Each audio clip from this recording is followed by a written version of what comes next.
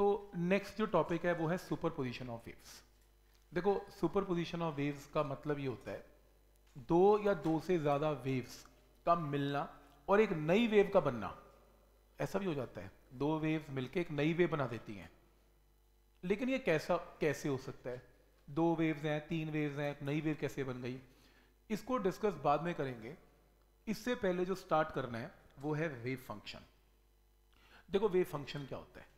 बहुत ही सिंपल सी एक बात मैं आपसे पूछता हूँ कि वेव्स के अंदर सबसे पहली चीज़ ये बताएँ कि कोई भी अगर वेव जनरेट होती है, मान लो वेव कैसे जनरेट करते हैं? वेव जनरेट डिपेंड करती है कि आप कौन सी वेव बना रहे हैं। जैसे आप एक रस्सी के अंदर वेव बना रहे हैं तो रस्सी को ऊपर नीचे मूव कर दें तो वेव जनरेट हो गई। रस्सी की वेव जनरेट हो गई। आप पानी के अंदर कर रहे हैं, आपको पत्थर फेंकना पड़ेगा वेव प्रोपिगेशन होगी। या आप कोई भी, जो भी, जैसी भी वेव बनाना चाहते हैं, वैसे ही आपको सोर्स लेना पड़ेगा। मैं एक बहुत ही सिंपल सा एग्ज़ाम्पल लेने वाला हूँ। प्लेन प्रोग्रेसिव वेव का रस्सी के अंदर बेस्ट है। रस्सी दिखती है, आप इमेजिन कर सकते हो कि वेव मैंने कैसे जनरेट की। सबसे ईजी पार्ट यही है। तो इमेजिन करो कि आपके पास एक वेव है, ये मान लो स्ट्रिंग है, और यहाँ से आप वेव को जनरेट करने वाले हैं। वेव का जो पहला, ये जो रस्सी का पहला पार्टिकल है, इसको आप पकड़ेंगे। आप कैसे मूव करवाएँगे? एक, दो, तीन और चार। कोई कहता जी, मैं तो ऐसे करवाता ही नहीं। मैं तो ऐसे करवाऊँगा। एक और दो, बस। तो अगर वो ऊपर नीचे करते तो उसकी वेव पल्स ऐसी जनरेट होगी। लेकिन अगर वो पूरा पीरियोडिक मोशन करता है मींस एक, दो, तीन और चार, फिर उसका क्रेस्ट के साथ ट्रफ भी तैयार हो जाएगा। क्लियर है? पर मान लो एक मिनट के लिए, किसी ने ऐसे जनरेट किया, और किसी ने ऐसे जनरेट किया, यहाँ से स्टार्ट होके एक ऊपर जाएगा, फिर नीचे आएगा, फिर नीचे आएगा, और फिर ऊपर आएगा। तो उसकी वेपर्स ऐसी जनरेट हो जाएगी। अगर वो इस हिस्से को बार बार ऊपर नीचे करता रहेगा तो वेव पल्सेस जनरेट होती रहेंगी, आगे बढ़ती रहेगी, लेकिन अगर वो एक बार करके छोड़ देगा, फिर ये वेव पल्स आगे ट्रेवल करती जाएगी और जैसे आगे जाएगी, पीछे का हिस्सा रेस्ट पे आ जाएगा। जैसे इसने जनरेट की, अगर मान लो ये वेपल जनरेट हुई तो ये हिस्सा आगे जाएगा, फिर ये यहाँ आएगा, फिर ये यहाँ आएगा और ऐसे चलता जाएगा। मल्टीपल बार बार बार बार तब जनरेशन होगी जब आपका हाथ बार बार बार बार ऊपर नीचे मूव करता रहेगा। फिर कॉन्टिन्यूस वे पल्सेस होंगी। यहाँ पर कॉन्टिन्यूस नहीं है, यहाँ पर एक ही वे पल्स जनरेट की मैंने।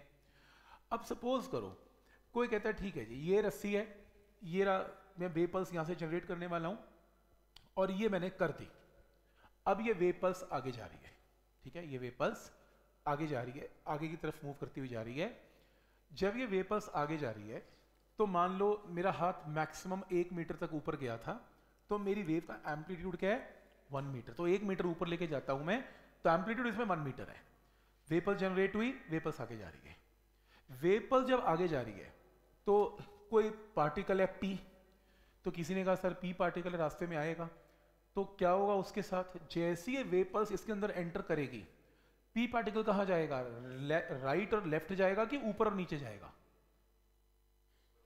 वेव के साथ चल पड़ेगा? नहीं, रस्सी थोड़ा चल पड़ेगी। पी पार्टिकल में जैसी वेव पल्स आएगी, ऊपर, नीचे नीचे, ऊपर। जो बिहेवियर फ़र्स्ट पार्टिकल का था, वही बिहेवियर पी का होगा। लेकिन थोड़ा लेट होगा, क्योंकि वेव पल्स उसमें आने में टाइम लगाएगी तो लेट होगा। यहाँ तक क्लियर है? तो उसके बाद जब ये वेव पल्स पी में से पास हो जाएगी, फिर बारी किसकी आएगी? क्यू की आ जाएगी। फिर क्यू पार्टिकल भी ऊपर नीचे नीचे ऊपर बात खत्म, फिर रेस्ट पे आ जाएगा। तो हर पार्टिकल की एक एक करके बारी आएगी, ऊपर नीचे नीचे ऊपर करता रहेगा। क्या पॉइंट क्लियर है? एनर्जी लॉसेज को हम नहीं ले रहे।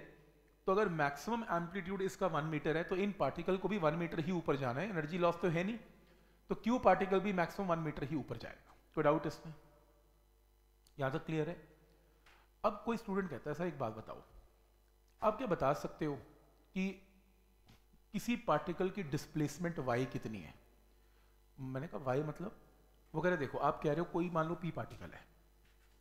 पी पार्टिकल ऊपर गया होगा वन मीटर नीचे आया होगा, फिर नीचे, फिर ऊपर। मैंने कहा हाँ ठीक क्या आप ये बता सकते हो कि जब ये वेपर्स इसमें आई, उस वक्त मान लो टाइम पंद्रह सेकेंड था, पंद्रह सेकेंड पे ये पी पार्टिकल कहाँ पे पाया जाएगा? यहीं पे पाया जाएगा। टॉप पे होगा, बॉटम पे होगा या बीच में कहीं पे होगा, ये बताओ कि किसी भी इंस्टेंट पर इसकी वाई की क्या वैल्यू होगी। कुछ तो होगी, क्योंकि कॉन्टेंसली ये पार्टिकल ऊपर नीचे ऊपर नीचे मूव कर रहे हैं। चलो आप एक वेव पल्स छोड़ो। मान लो आपने मल्टीपल वेव पल्स जनरेट कर दिए चलती जा रही है। अब पी पार्टिकल हर वक्त ऊपर नीचे मूव कर ही रहा होगा, क्योंकि मल्टीपल है, पीछे से वेव पल्सेस आई जा रही हैं। तो पी पार्टिकल या जो भी क्यू पार्टिकल है, वो उसकी मूवमेंट हर वक्त होती जा रही है ऊपर नीचे। तो वो कहते हैं कि मान लो आप बता सकते हो टी इक्वल टू पंद्रह सेकेंड के ऊपर क्यू पार्टिकल रास्ते में कहाँ होगा? पॉइंट वन मीटर पे पॉइंट टू मीटर पे वन मीटर पे पॉइंट फाइव मीटर पे, नीचे, ऊपर एग्जैक्ट लोकेशन बताना उसकी वाई की क्या होगी। ठीक? तो मैंने कहा, ठीक है यार, आप अगर वाई पूछ रहे हो तो मेरे को ना एक फॉर्मूला बनाना पड़ेगा। तो मेरे को एक फॉर्मूला बनाना पड़ेगा, जिसमें मैं किसी भी पार्टिकल की वाई की वैल्यू को निकाल सकता हूँ। क्या ये पॉइंट क्लियर है यहाँ तक? तो किसी भी पार्टिकल की मैं वाई की वैल्यू निकाल दूँ, लेकिन प्रॉब्लम ये है कि वाई की वैल्यू हर वक्त अपनी वैल्यू को क्या कर रही है? चेंज वाई तो कॉन्टिन्यूसली क्या आ रहा है? चेंज हो रहा है। क्या ये पॉइंट क्लियर है? तो वाई की वैल्यू चेंज हो रही है। लेकिन एक बात पक्की है वाई बताने के लिए मुझे एक वाई का फॉर्मूला बनाना है। कि किसी भी पार्टिकल के लिए आप किसी भी समय पे अगर वाई निकाल सको, मैं ये फॉर्मूला देने जा रहा हूँ आपको। तो वाई की जो वैल्यू है, किस पे डिपेंड करेगी? टाइम पे? फ़ोटो किस टाइम पे खींची गई? किस इंस्टेंट पर वाई निकालना चाहते हो? तो वाई किस पे डिपेंडेंट है? टाइम पे। कि time T equal to one second पे देखना चाहते हो, दो सेकेंड पे, एक घंटे बाद, दस घंटे बाद कब देखना चाहते हो कि पार्टिकल जो पी है या क्यू है वो कहाँ पे होगा लेकिन आपको समय तो बताना पड़ेगा कि किस समय पे। तो वाई किस पे डिपेंडेंट होगा? टाइम पे। क्या ये बात समझ में आ रही है? फिर दूसरा जब पी पार्टिकल मान लो 1.1 मीटर पे है तो क्यू पार्टिकल क्या आपका 0.5 मीटर पे हो? हर पार्टिकल अपनी अपनी अलग अलग पोजिशन पे होगा। सिमिट्री में थोड़ी ना सारे पार्टिकल जा रहे रस्सी ये थोड़ा मूव कर रही है। और ऐसे मूव करती है फिर तो सारे एक, एक जैसे थे। रस्सी तो ऊपर नीचे ऊपर नीचे मूव कर रही है। तो कोई पार्टिकल ऊपर हो सकता है और कोई पार्टिकल उसी इंस्टेंट पर नीचे भी हो सकता है। तो यानी कि y की वैल्यू हर पार्टिकल के लिए डिफरेंट है। हर पार्टिकल को कैसे डिफाइन करते हैं? इस मीन पोजीशन इस पोजीशन से इस पार्टिकल की लोकेशन क्या है? X तो अलग अलग x के पार्टिकल पे अलग अलग y की वैल्यू आने वाली है। तो यानी कि y की वैल्यू x पे तो डिपेंड करती करती है, साथ में टाइम पे भी डिपेंड करती है। तो अब, अगर आप मुझसे ये पूछते हो कि सर प्लीज़ मुझे वाई बताना तो मैं दो चीज़ें पूछूँगा। भाई, किसका वाई बताऊँ? पी पार्टिकल का क्यू पार्टिकल का एस पार्टिकल का टी पार्टिकल पॉइंट तो बता, यानी कि एक्स पूछूँगा एक्स बता। और दूसरा, किस समय पे बताऊँ कि आपको वाई तो बताऊँ? वाई तो हर समय पे अपनी वैल्यू को क्या कर रहा है? चेंज तो मुझे समय भी बताना पड़ेगा तो मुझे टी भी बताना पड़ेगा। तो क्या मैं ये बोल सकता हूँ? वाई की वैल्यू दो फैक्टर पे डिपेंडेंट है एक्स एंड टी कोई डाउट इसमें। मैथ में इसको बोलते हैं Y is a function of X and T math थोड़े समझते हैं कि फ़ंक्शन मेडिकल वाले फ़ंक्शन का मतलब वाई डिपेंडेंट है एक्स और टी पे। वाई का जो भी फॉर्मूला तैयार होके आएगा, उसमें दो वेरिएबल ज़रूर पाए जाएँगे, एक एक्स और एक टी इसका मतलब ये है। कोई डाउट इसमें? तो वेव फ़ंक्शन किसे बोलते हैं? फ़ंक्शंस फ़ंक्शन मतलब ऐसा फॉर्मूला जो निकल के आएगा वाई का involving X and T which mathematically gives description of extended moving object, जो मैथमेटिकली आपको y की वैल्यू दे देगा जो x और t पे डिपेंडेंट है, किसी भी वेव पल्स के लिए, उसको क्या बोलते हैं? वेव फ़ंक्शन तो अब हम क्या बनाने जा रहे हैं? किसी भी वेव का वेव फ़ंक्शन का मतलब किसी भी वेव की इक्वेशन जब हम बोलते हैं वेव की इक्वेशन तो किसी भी पार्टिकल की पोजीशन किसी भी टाइम पे क्या होगी, ये बताने जा रहे हैं कि y की वैल्यू होगी क्या. जब मैं बोलता हूँ कि y की वैल्यू क्या होगी, वो y किसका?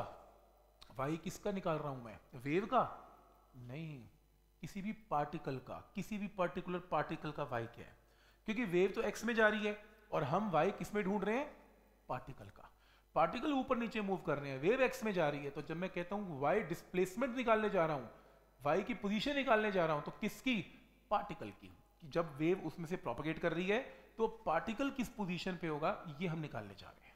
इसे बोलते हैं वेव फ़ंक्शन क्या ये पॉइंट क्लियर है यहाँ तक? नेक्स्ट है